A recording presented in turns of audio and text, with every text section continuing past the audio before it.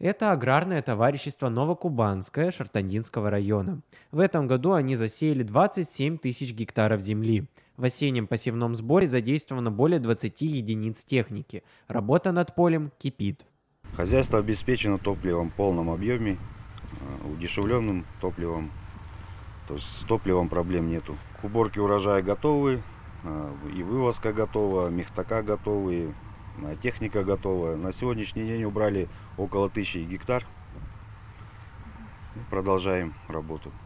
В этом году на весенний сев в Шартандинском районе выделено 3,6 миллиона тонн горюче-смазочных материалов, а потребность к осенней уборочной кампании составляет 4,1 миллиона тонн. Никаких жалоб от аграриев на топливо и технику не поступало. На сегодняшний день у нас э, начина, началась уборочная кампания. Э, район полностью готов 100% к уборочной кампании. Дизельное топливо удешевленное выделяется. Также район получает, э, сельхозтоваропроизводители района получают субсидии по гербицидам, семенам, удобрениям. Также на развитие животноводства получают от государства поддержка идет очень хорошая.